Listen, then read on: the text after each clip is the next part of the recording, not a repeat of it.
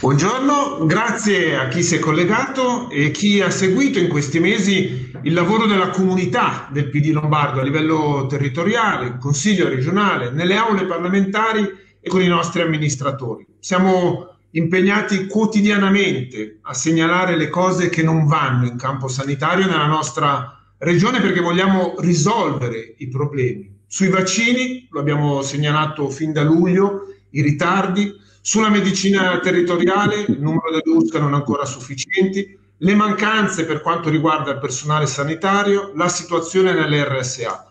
Errori commessi dalla giunta Fontana nella gestione della prima drammatica fase dell'emergenza sanitaria.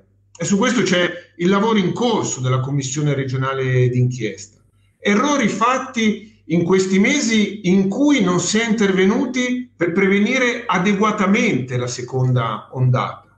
Ma oltre gli evidenti errori della Giunta, la fragilità del servizio sanitario regionale è di carattere strutturale, risiede nelle scelte sbagliate della legge 23, voluta nel 2015 da Maroni e portata avanti da Fontana. La sperimentazione di quella legge scadrà a fine anno e il tempo per cambiare quella legge è adesso. E noi abbiamo lavorato per elaborare una proposta radicalmente alternativa. Abbiamo iniziato lo scorso 3 luglio ascoltando insieme a Nicola Zingaretti e Beppe Sala il mondo scientifico, i medici, gli operatori sanitari e i professionisti. Abbiamo ascoltato i cittadini organizzando banchetti nelle piazze nel corso del mese di luglio attraverso questionari online. Abbiamo un canale continuo di confronto attraverso lo strumento dei forum su piattaforma e sui social, con le dirette Facebook tutti i venerdì con i protagonisti.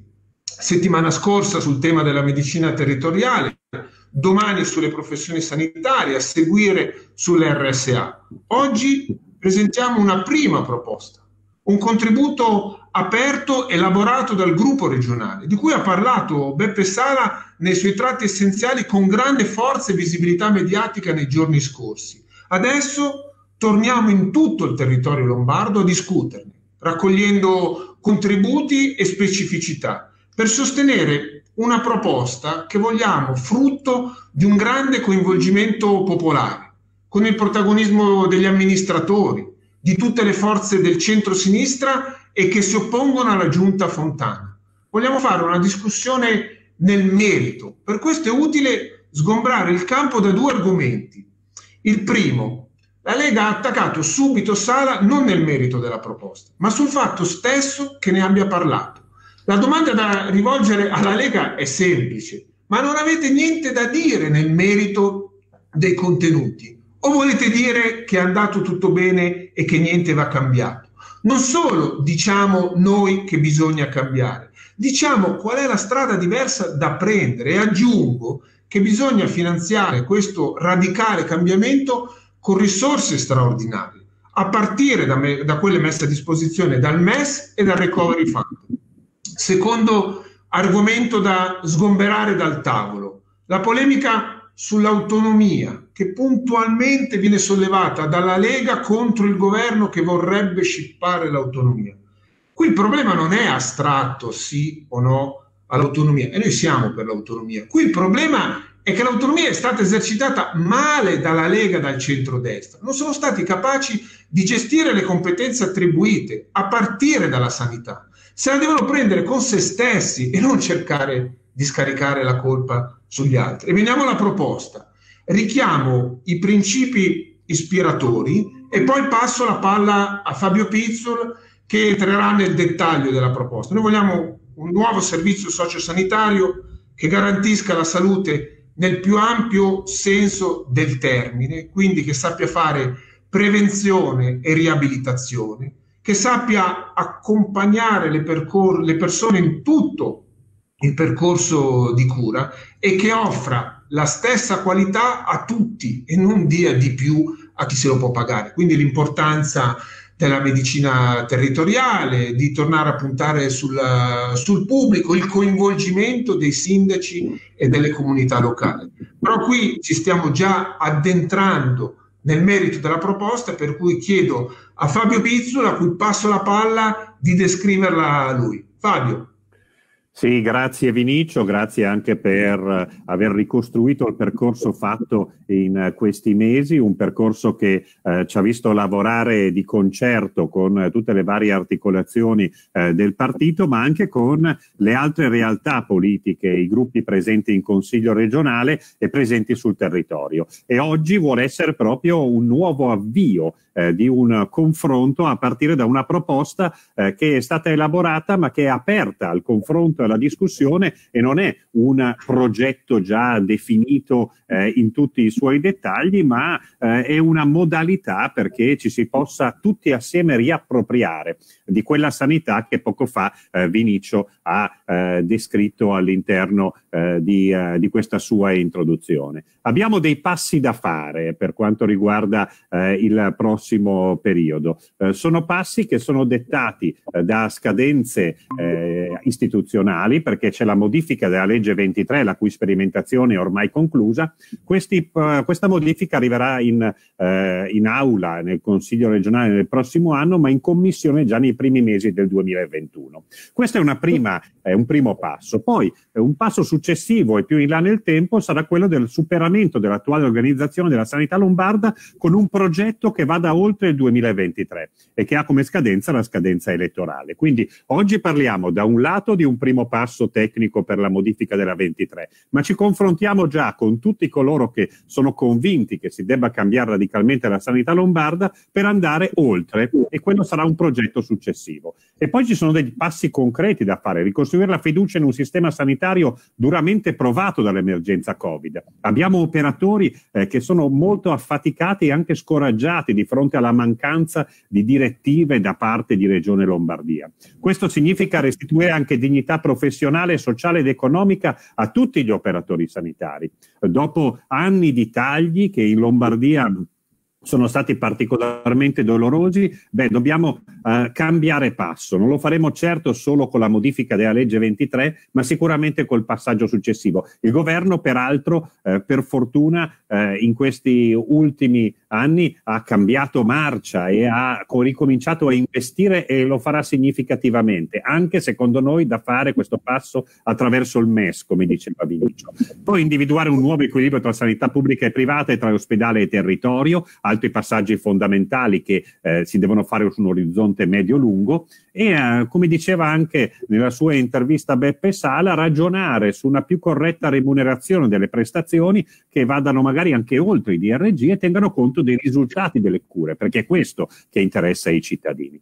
Cosa bisogna cambiare nella 23? Quindi è il primo passo concreto che saremo chiamati a fare eh, nelle prossime settimane. Innanzitutto le ATS che non hanno funzionato per come sono state eh, individuate dalla legge 23, perché hanno fatto confusione tra progettazione, programmazione e gestione eh, hanno dato indicazioni poi anche confuse a seconda dei territori. Eh, ci sono delle regole che valgono su alcuni territori e altre regole su altri. La stessa distribuzione dei vaccini, eh, il modo in cui sono stati fatti i tamponi, il mancato tracciamento dell'epidemia in queste settimane è perché le ATS non sono state in grado di lavorare come avrebbero dovuto. E poi l'organizzazione della sanità territoriale, perché ehm, è lì il punto ne- debole, il buco nero della sanità in Lombardia.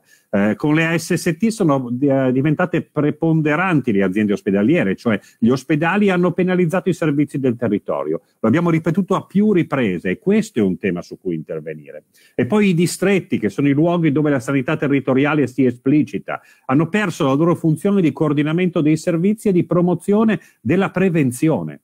Una, è una sanità, quella lombarda, che è diventata solo prestazionale, eh, che garantisce la cura delle acuzie, garantisce tante prestazioni, ma non la cura e l'accompagnamento dei pazienti fino dove serve, anche fino all'interno delle loro case. Questa cosa non la sta facendo e quindi è una cosa che bisogna cambiare all'interno della legge 23. E poi recuperare il ruolo dei sindaci che hanno perso la possibilità di incidere sulla programmazione della sanità e sulla qualità del servizio ai propri cittadini. Quanti sindaci abbiamo visto frustrati in questi mesi nel vedere che non potevano fare granché rispetto a quello che stava accadendo. E questo è uno schema per capire quelle che sono un po' le varie eh, tematiche. È la governance quella che bisogna cambiare nella legge 23, a partire dal rapporto pubblico e privato, dalla valorizzazione dei distretti e della medicina territoriale, dal ruolo dei medici di base che devono tornare al centro dell'attenzione, essere loro i registi della sanità sul territorio e dal coinvolgimento attivo dei sindaci. Temi importanti che già devono rientrare all'interno della modifica della 23. E qui entriamo in quella che è una proposta per la discussione.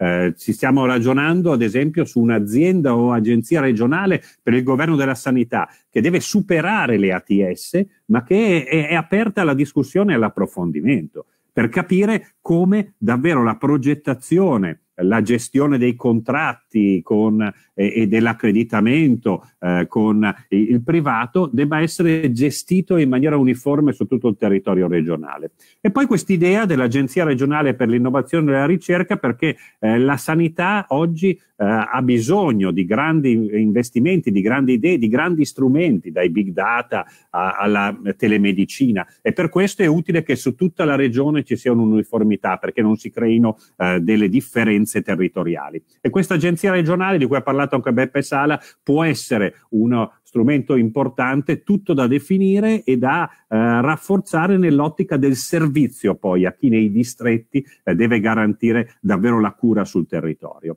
E per le articolazioni territoriali abbiamo visto che le ASST hanno fallito nel garantire questa unità tra eh, ospedali e territorio. Allora ragioniamo su cosa può significare uno schema con le unità sociosanitarie territoriali eh, che si prendono davvero cura di un'offerta eh, adeguata e, eh, coordinata sul territorio e magari individuare delle aziende ospedaliere eh, in cui eh, bisogna invece investire, i grandi ospedali, pensiamo agli istituti di eh, ricerca a carattere eh, scientifico che esistono sul territorio lombardo, pensiamo ai grandi ospedali come Niguarda, come l'ospedale Papa Giovanni mh, a Bergamo, come gli ospedali civili a Brescia. Questi non possono permettersi di eh, trascurare la, la ricerca, eh, la, eh, l'assoluta eccellenza delle prestazioni su alcune eh, branche della medicina per schiacciarci su esigenze territoriali. Quindi recuperare questa articolazione territoriale, ribadisco,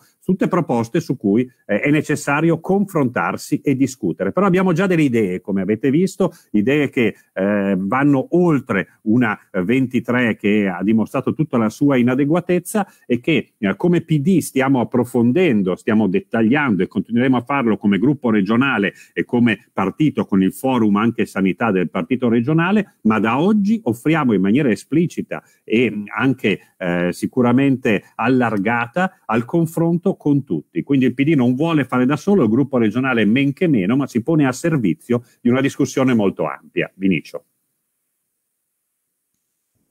Grazie Fabio. Uh, a questo punto uh, credo che ci sia la possibilità per chi lo ritiene di fare le domande trattandosi di, di, una conferenza stampa, per cui se ci sono delle domande eh, siamo qui, molto volentieri, rispondiamo io e Fabio Pizzol. Nel frattempo, Fabio, colgo la palla, prendo la palla al balzo, eh, visto che tu ricordavi il forum.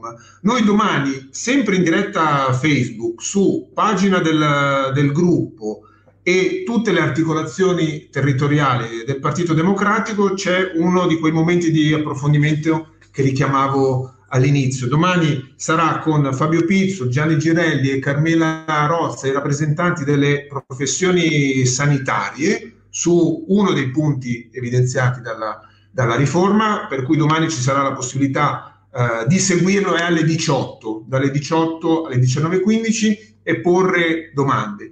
Lunedì c'è la riunione del forum regionale, poi ci sono le articolazioni territoriali. Eh, chi vuole partecipare è su piattaforma, per cui deve mandare una mail sulla pagina Facebook del PD del gruppo, trovate le mail di riferimento. Se ci mandate una mail così potete partecipare a questi momenti di eh, confronto, condivisione e elaborazione comune.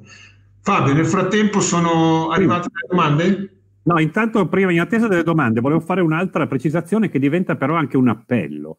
Eh, stiamo leggendo di eh, progetti che eh, si incrociano per la riforma della legge 23 con tavoli di esperti della giunta, eh, partiti eh, che, eh, di maggioranza che si confrontano. Ecco, io credo e lancio qui un appello molto preciso, poi diventerà anche, una, diventerà anche una, un atto formale con cui lo chiederemo, che la sede di discussione è la Commissione Sanità del Consiglio regionale.